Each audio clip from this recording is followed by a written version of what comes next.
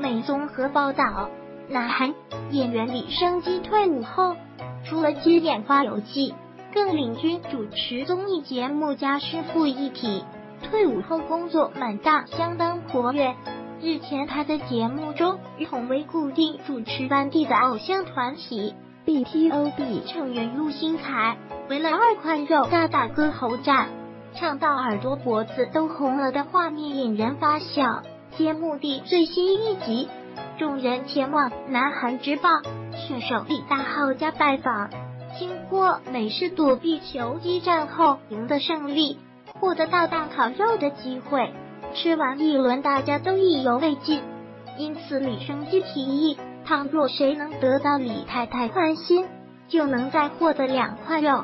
为此，偶像歌手出身的陆星材率先开嗓大秀歌喉，清唱 BTOB 的 Missing You，唱到耳朵都红了。引来李生基吐槽：“你是当演唱会在唱吗？”但没隔多久。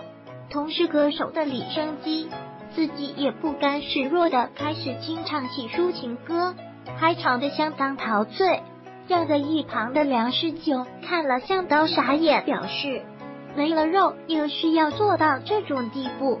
最后夺得第二名的陆星材更开心，到站起来欢呼，也让人惊呼肉块的力量实在太伟大。陆星材为肉热场，引来李生基吐槽。发射自 Y O U T U B E，隔没多久，李生基自己也开始唱的相当陶醉。